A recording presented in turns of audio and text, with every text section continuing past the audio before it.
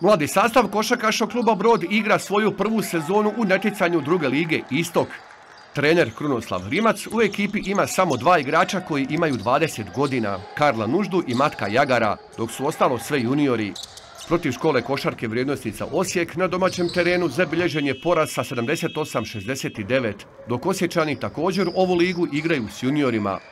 Ove dvije ekipe već su se nekoliko puta međusobno sastale u Ligi juniora, dok je još u trećem kolu u seniorskoj drugoj ligi istok u prvom dijelu sezone u Osijeku do pobjede došla momčad Krunoslava Rimca sa 66-64. Sada su im mladi Osjećani uzvratili u njihovoj dvorani nakon bolje igre u drugom polovremenu. Ovo je već jedna četvrta ili peta utakmica ove sezone između nas dva, to je između Broda i Vrijednosnica Osijek. Brod je u Osijeku pobjedio jedan razlike, mi smo promašili ziceru dvije sekunde prije kraja, sad se okrenulo na našu stranu. Bitno je da imamo što dobre, što kvalitetnije utakmice. Mi smo spojili kadete i juniore, tako igramo i kadetsku, juniorsku i seniorsku ovu drugu mušku ligu. Bitno je da njima da rade, da treniraju, a nadamo se, kažem, cilj je dobiti igrača za prvu ekipu. Već onako godinama unazad stalno smo tu negdje, igramo egal, borimo se i mi i oni, ali eto, ove put su oni imali veću želju i veće htjenje nekako da pobjede i na kraju su to i uspjeli.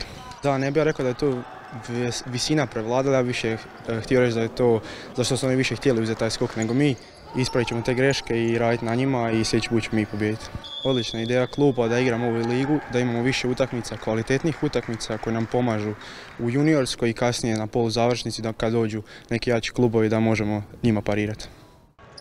Košakaši Broda dobro su krenuli u utakmicu, budući su završnice prve četvrtine imali i 11 koševa prednosti za 22-11. Kasnije su se vrijednosnice Osijek vratile u utakmicu, te su stalno bili blizu, dok je prednost imala momčad Krunoslava Rimca. Tako su domaći na veliki odmor otišli sa 40-37, dok se izjednačeno igalo u trećoj dionici. Brođani su u 27. minuti košem Sudića imali lijepih 52-44, međutim stricama Svena Gavranovića gosti su u oči posljednje četvrtine poravnali rezultat na 56-56. Izjednačeno je bilo u većem dijelu četvrte četvrtine, da bi tri minute prije kraja košem Svena Pavića bilo 68-68. Tu su domaći stali, te su do kraja postigli samo jedan poen, a mladi brokeri 11, i to preko Martinovića, Flanjka i Stojčića, za pobjedu sa 78-69. Kod ekipe Marka Madića je Sven Gavranović postigao 19, Nikola Martinović 17, Riko Šterbih 12, a Gabriel Flanjak 10 koševa. Pripremali smo se dosta za Slavonski brod, znamo oni su uvijek neugodni tu kad se igra u brodu u ovoj dvorani.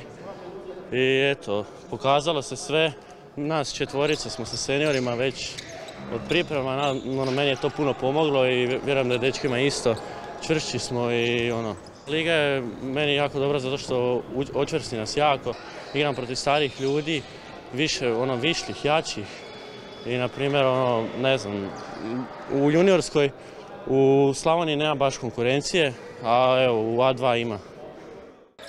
U sastavu košakaša Broda je Sven Pavić postigao 20, Karlo Sudić 15, Stjepan Balen 14, a Fabijan Pitlović 10 koševa. Pa da, naravno uvijek teška utakmica sa vrijednosnicama. Prošlu utakmicu smo mi tamo pobjedili jedan razlik i ovaj puta oni pobjedili devet. Eto, prelomili su oni zadnju četvrtinu. E, mislim da su nas najviše pobjedili u skoku i u trci.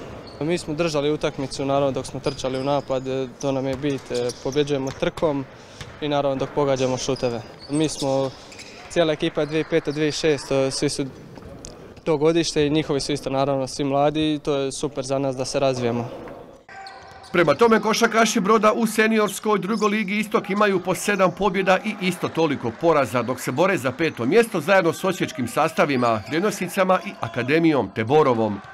Upravo ove nedelje 11. veljače u 20 sati u dvorani Vijuš Brođani igraju protiv Borova, dok njima plasman u ovom natjecanju nije prioritet.